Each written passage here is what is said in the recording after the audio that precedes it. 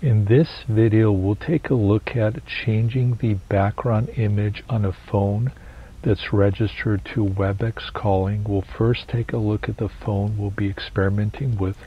It's a 8841 3PCC.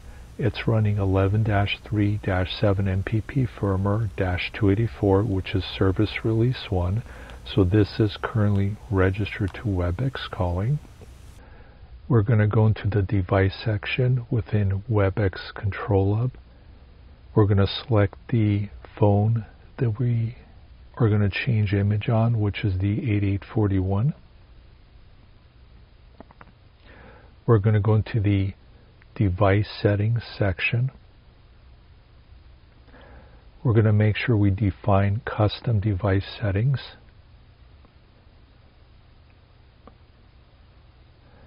We're going to select the background image, custom background.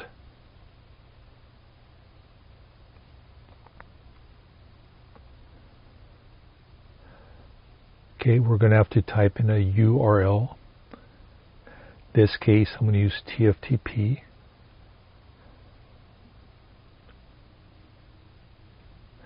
So what, what I'm going to basically do here is I'm, I'm going to pull an image from a local computer within my network that has the image. It's going to be running TFTPD64, so that's the IP address of the computer. Then I'm going to go and take a look at the actual name of the image.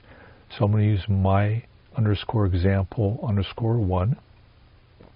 And that's going to be a JPEG type of image.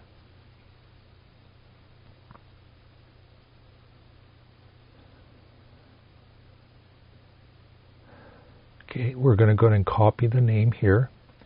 We're going to make sure we include the extension of JPEG. Oh, let me go to retype that.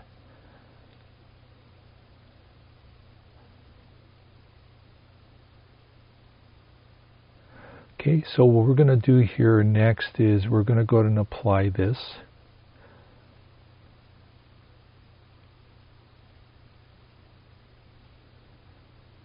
And then we want to go ahead and under Actions drop down, we're going to apply changes, apply changes. Okay, and typically we should see the changes fairly quickly within about 10 or 15 seconds. Okay, so the image has been uploaded, and that's basically the image. Okay, it looks like the phone is going to do possibly a reboot here. We'll give it a few moments here.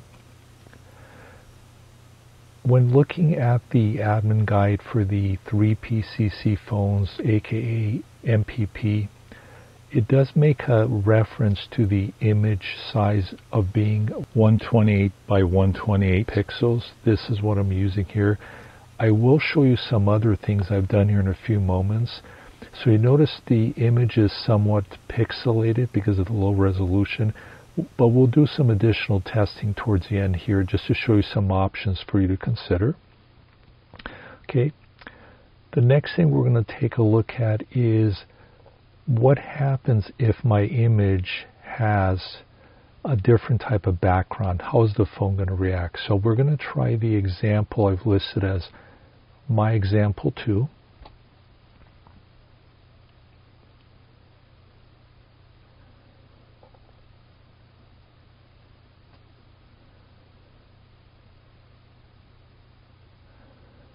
And we're just going to repeat as before. We're going to go down to the custom background URL field. And we're just going to need to change one character here. So we're just going to make this a number 2. We're going to go ahead and save the settings.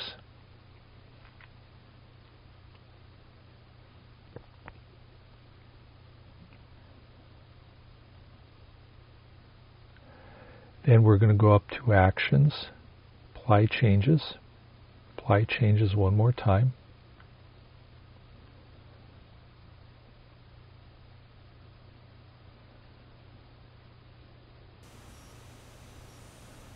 Okay, and then again, these changes occur fairly quickly, okay? So right now, if you noticed, the background of the screen is blue because of the background we'd uploaded, but the phone selected to change the actual lettering, the characters, so the phone number, the extension, the date, etc., etc. So there is an automatic algorithm in a phone that, based upon the majority of the content of the screen, as far as if it's more darker or lighter, it will go in and change the actual characters of the phone. So that's something that's automatic.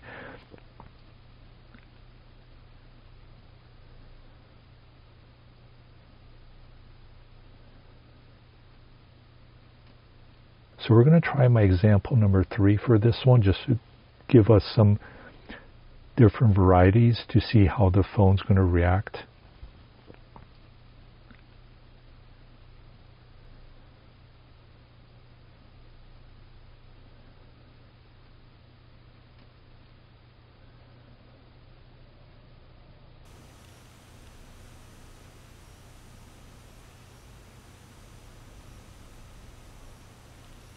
Okay, so this background image is solid black and obviously the phone will select the letters for the extensions, phone number, date, etc., etc., to be a white color. That would make sense. I think where you might have a situation where it might be a little more more tricky is if you have an image, a more complex image, because obviously what I'm using here is a very simple image lettering with a specific color background. But if you had something more complex that has a combination of both light and dark type of colors, this is where it might get a little bit more uh, tricky in a sense you may need to experiment to see what works best. Okay, so this will be example number four that we're going to look at right here.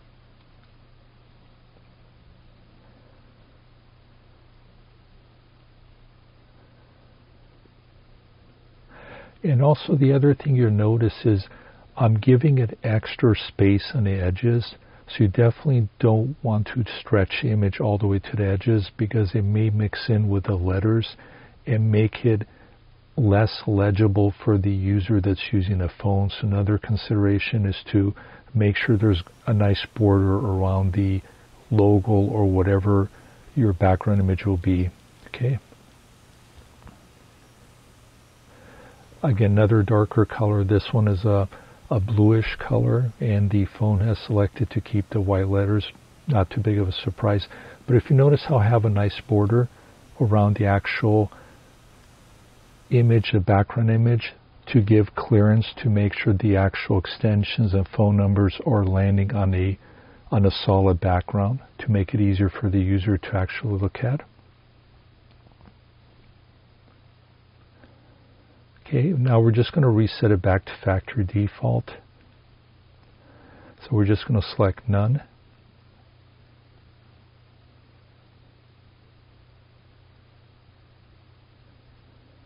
And we're just going to repeat as before, save, and then we're going to go actions, apply changes.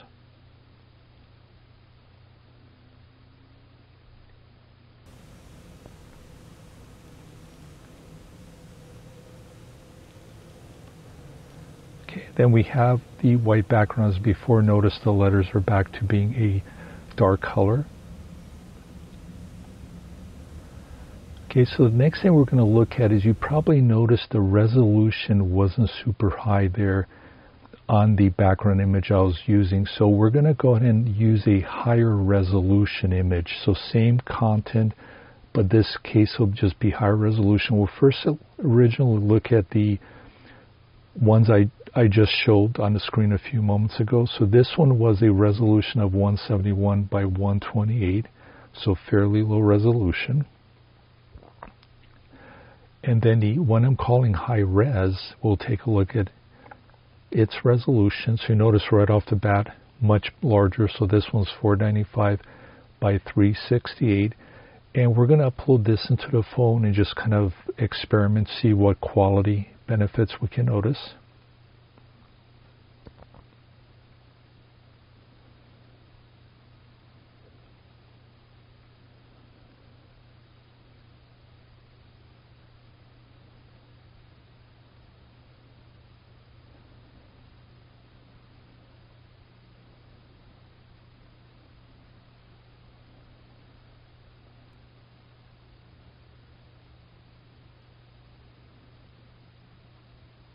Okay, we're going to go Actions, Apply Changes, Apply Changes. And we'll take a look. So this is the original test I did with a low resolution image, fairly pixelated. We're a little bit closer now to the camera. And if you notice with the higher resolution is much, much cleaner. So you definitely want to experiment and see what's going to work best.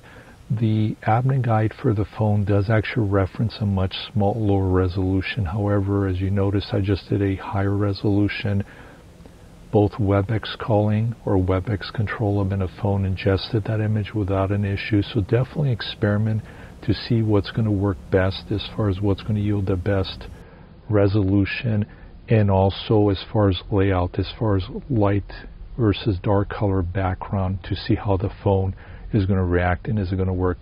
Also want to point it out, I did experiment with a couple different formats, PNG, JPEG, GIF, in bitmap and all of them did upload just fine.